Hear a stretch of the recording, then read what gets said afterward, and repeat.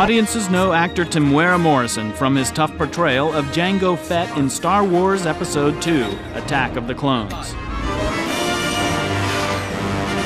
Now they can play as him, as the hard as nails squad leader Delta 38. Take offensive formation. We are like the SAS or the Special Forces or the elite Marines, if you like, in space.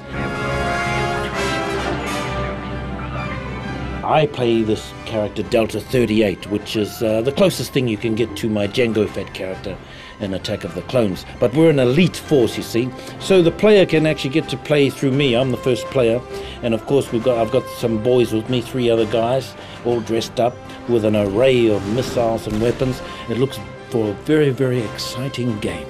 Temuera Morrison infuses Delta 38 with his signature personality and quirky energy. Scorch, I need a big hole right here. The other good thing too about this game is we're adding a little. There's just a little a bit of humour in there as well. You know, with some of his some of his one-liners. I wish they'd stop doing that. I've got a 13-year-old, and to be quite honest, uh, this is in, uh, maybe another game that he'll uh, want to latch onto, or maybe it would be me going, get off that game and do some homework. Let's rearrange some architecture, Delta.